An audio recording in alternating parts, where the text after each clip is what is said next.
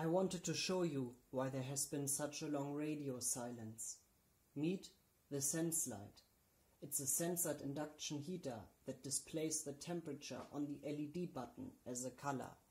This is the color chart. Let me heat two Dynavaps.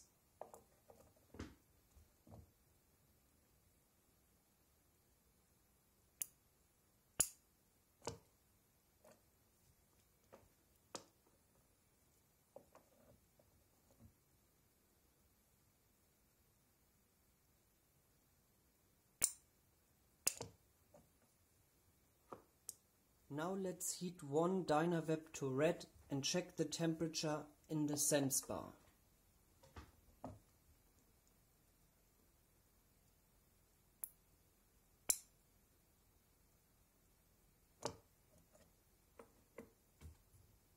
As you can see, it reads about 200 degrees.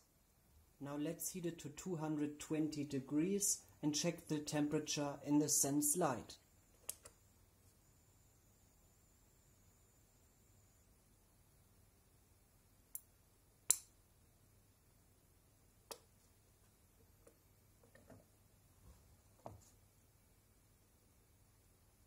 As you can see, it almost instantly registered as red. Now let's heat a cold Dynavap to red.